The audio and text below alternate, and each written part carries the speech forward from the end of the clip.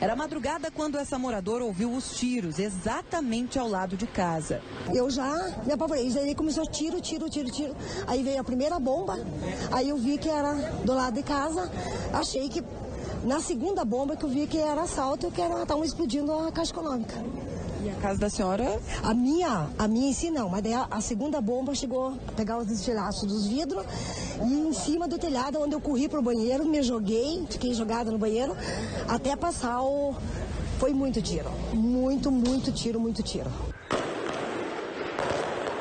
O mega assalto começou por volta das 4 horas da manhã, ainda nas rodovias que levam à pacata cidade de Palmeira, nos Campos Gerais.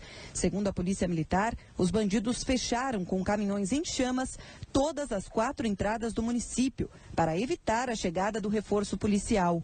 Tentativa de assalto aí no caminhão, ó, terminou com um caminhão incendiado aí vários veículos aí para trás com um Miguelito nos pneus e nós estamos com um grudado também. Para cumprir o plano de deixar a polícia bem longe do local do assalto, os bandidos foram além. Passaram aqui diante do prédio do pelotão da Polícia Militar, o único aqui da cidade de Palmeira, e metralharam a fachada do prédio. A gente ainda consegue notar muitas marcas aqui na parede, inclusive aqui nesse vidro que exibe várias marcas de bala. Foi um recado que os bandidos deram para que a polícia não saísse para tentar impedir o assalto. Depois, os bandidos seguiram para a Rua Conceição, principal via do centro da cidade. Essas imagens de segurança mostram alguns dos assaltantes reunidos antes de entrar nas três agências bancárias. Fortemente armados, eles explodiram pelo menos quatro vezes os caixas eletrônicos. Pouco depois dos estrondos, a destruição. Roubando nada, roubando nada. Placa de Curitiba, mano. Sem placa. Mais uma Duster sem placa.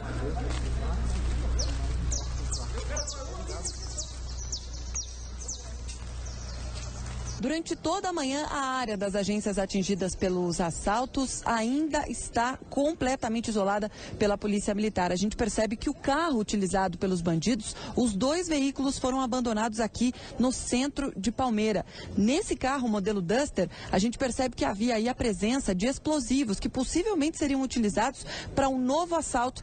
Também a presença de miguelitos utilizados para tentar impedir a chegada da polícia no local do crime. O esquadrão antibombas foi acionado para fazer uma varredura nos bancos e encontrar possíveis vestígios de explosivos. A Polícia Federal também esteve no local para iniciar as investigações. A estimativa da PM é de que pelo menos 20 pessoas tenham participado do assalto todos os bandidos conseguiram fugir. A Polícia Rodoviária Federal faz buscas nas rodovias que cortam aqui a cidade de Palmeira, mas a Polícia Civil também sobrevoa com um helicóptero para tentar encontrar alguma pista dos assaltantes. O mega assalto e a presença da polícia assustaram os moradores da cidade. Nunca na minha vida, nunca passei por isso, não. Levei um susto.